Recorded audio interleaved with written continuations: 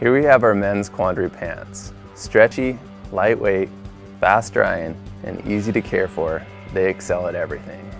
We make them with a strong 94% nylon, 6% spandex stretch woven fabric with a DWR finish. The fabric has 62% recycled nylon content, is bluesign approved, and provides 50 plus UPF protection from the sun.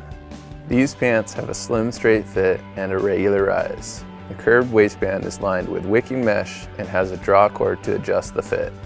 Belt loops are wide and reinforced. The waistband fastens with a zip fly and a metal web button. They have hand warmer pockets, a coin pocket, two rear pockets, one with a zipper, and a zippered thigh pocket. A gusseted crotch and stretch in the fabric allows a full range of motion.